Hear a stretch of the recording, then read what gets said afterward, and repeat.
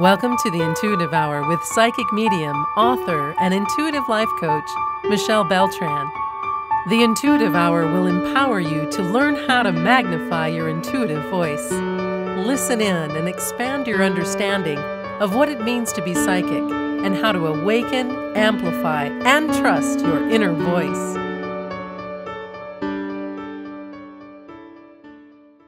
As we begin today, let your eyes be open. Focus on the middle of the room that you are in. And then notice how you can let your attention go. Let the attention go to the far wall away from where you're sitting. If you're lying flat, you can let your attention go to the ceiling. And then notice how you can let your attention come back, right back to the center of the room. And then, even further, your attention can come to about book reading distance from you, as if you're reading a book in your hands. And you may notice that you can determine where your attention goes and that you're in charge of it.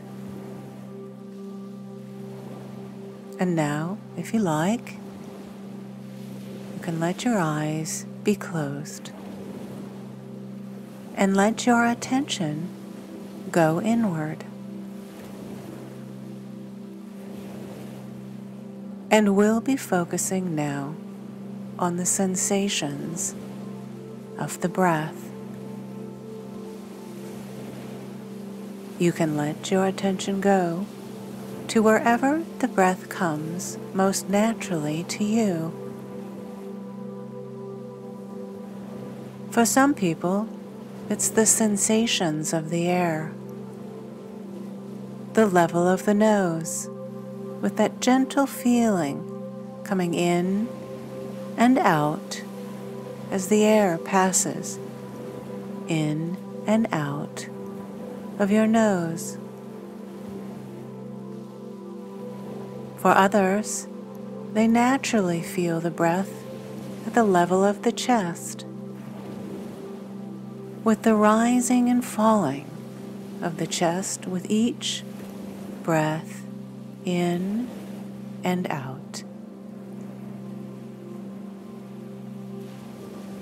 And still, others feel the breath most naturally at the level of the abdomen. And that when the diaphragm underneath the lungs is pulling down and bringing air into the lungs as you're breathing in, the abdomen actually moves upward, moves out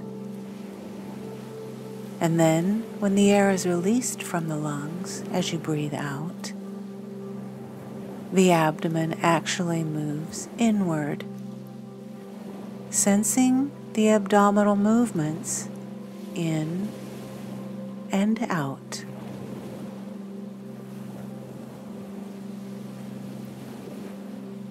So let's take a few moments now and just let your awareness ride the wave of the breath wherever you feel it most naturally.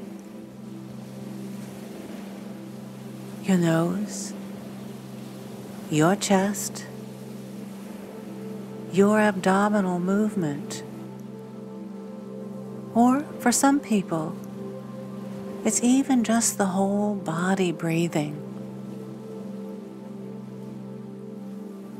Whatever comes naturally for you.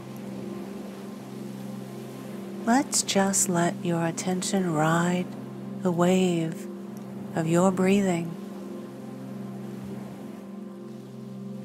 As you're sensing your breath in and out, I'm going to share with you an ancient story that's been passed through the generations about the mind being like the ocean. Where deep in the ocean beneath the surface, it's calm and clear. And from that deep place in the ocean, you can look upward toward the surface and at the surface, no matter what the conditions are, whether it's flat or choppy or even a full storm. No matter what those conditions are deep in the ocean, it's calm and clear.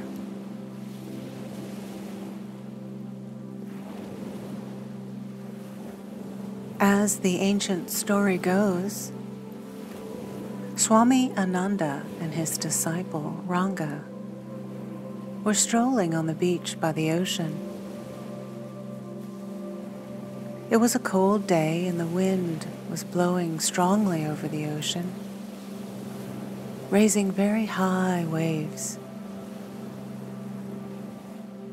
After walking for some time, Swami Ananda stopped, looked at Ranga, and asked, What does the choppy ocean remind you of?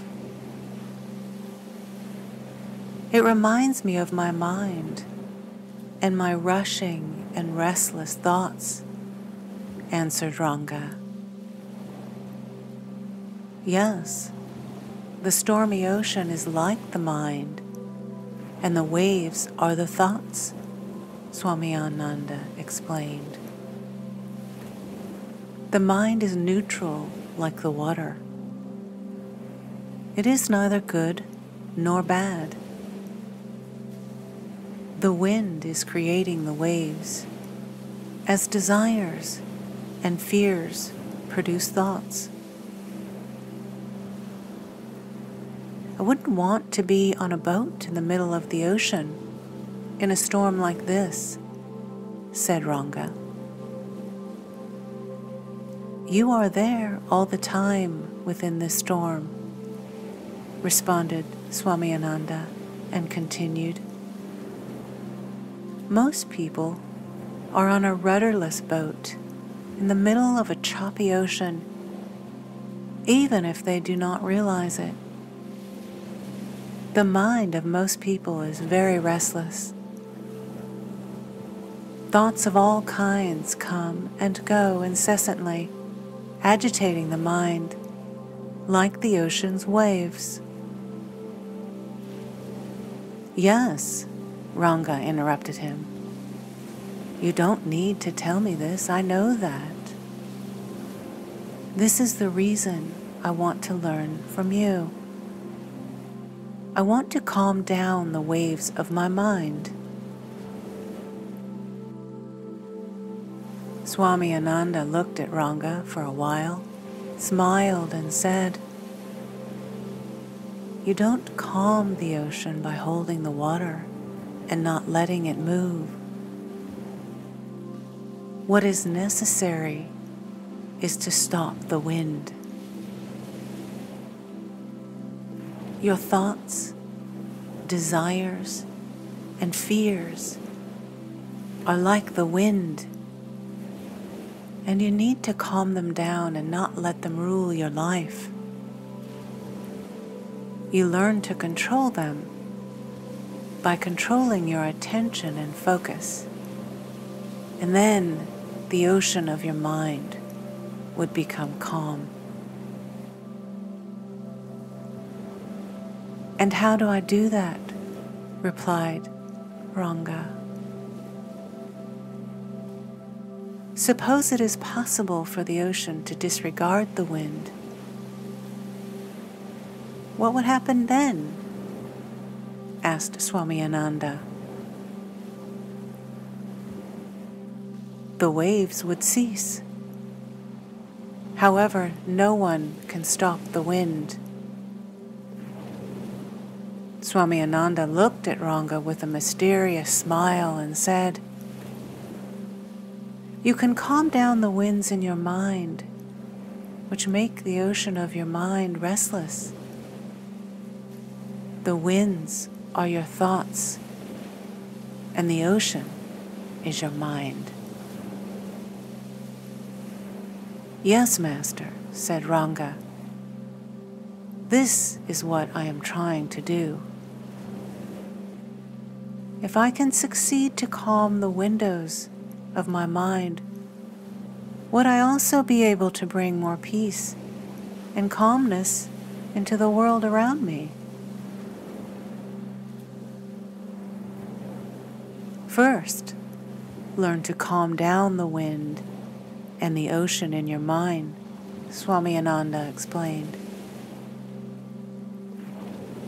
When you can control your mind and make it peaceful, you will have more control of your life. However, don't focus on changing the outside world. Focus on changing and calming your inner world. After you are able to control your inner world, you would be able to control the world around you. And how do I do that? Ranga asked. Learn to focus your mind, develop willpower and self discipline, and learn to meditate, Swami Ananda answered.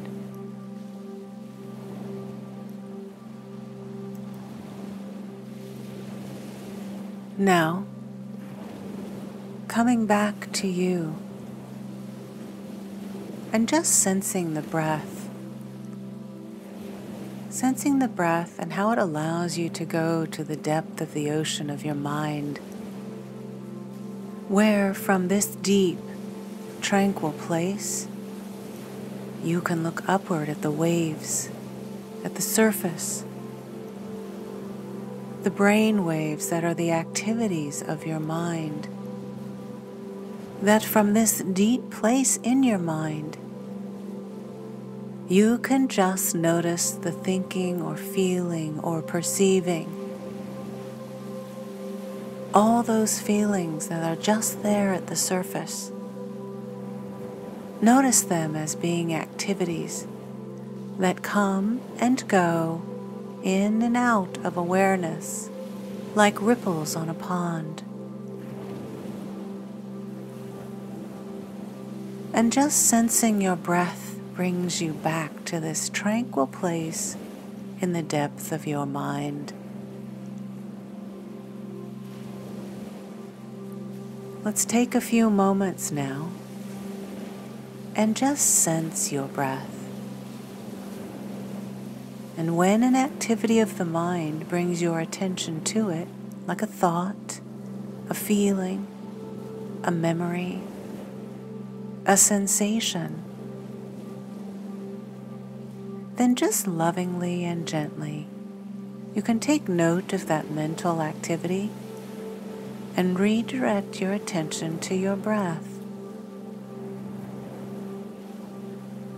Let your attention return to the breath, to this depth of your mind where you can just sense and observe the activities of the mind as just that activities and not the totality of who you are.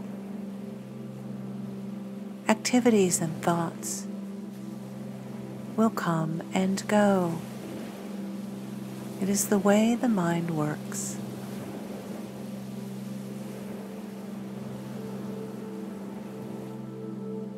As you sense your breath, you may come to notice that your mind is no longer focusing on the breath. Lovingly and gently take note of that and return your attention to your breathing.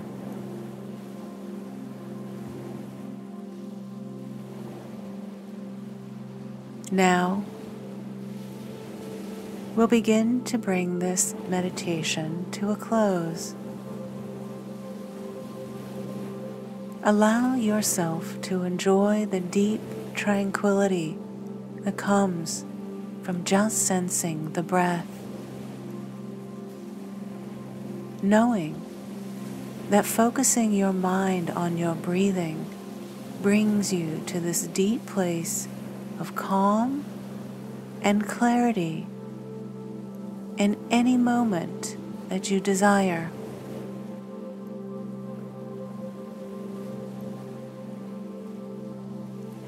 And now, as you're ready, gradually allow your body to awaken. Open your eyes and step forward into your day and your life.